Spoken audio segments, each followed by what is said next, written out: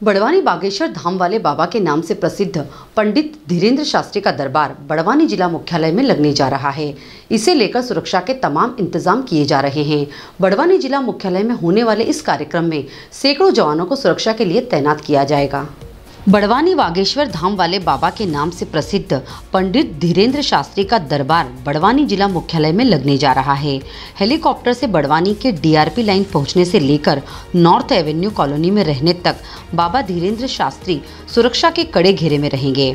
जिला प्रशासन खास सतर्क है।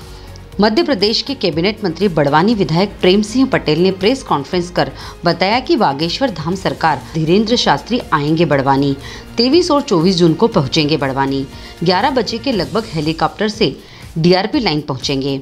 रैली के रूप में शहर के मुख्य मार्ग से होते हुए नॉर्थ एवेन्यू के छोटे बागेश्वर धाम मंदिर में पूजा अर्चना करेंगे। 23 जून की शाम 6 बजे से शहीद भीमा नायक कॉलेज ग्राउंड में लगेगा दरबार। 24 जून को 11 बजे बड़वानी से बागेश्वर धाम के लिए होंगे रवाना।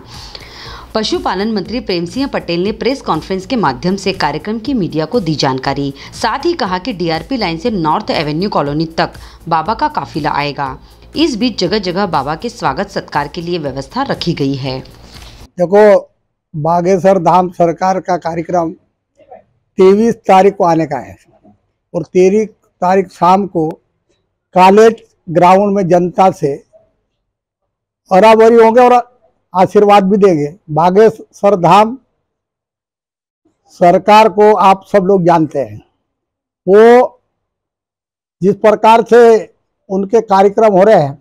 दो रोज हो या एक रोज हो, पर जनता तो मतलब अभी मंदसौर में भी कार्यक्रम हुआ था, वहाँ पर भी मैंने देखा।